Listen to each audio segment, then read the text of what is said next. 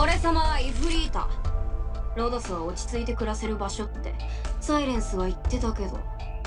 お前らに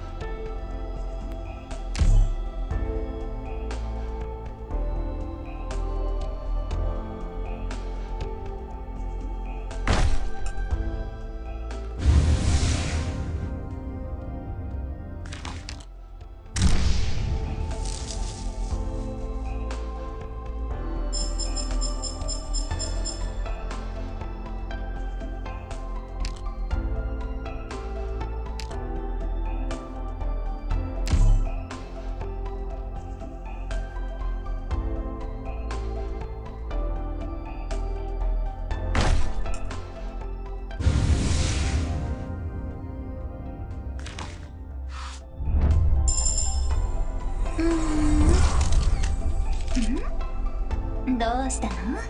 顔をそんなに赤くして。医師見習いのハイビスカスです。みんなからはハイビスって呼ばれてます。今日からドクターとロドスの皆さんの結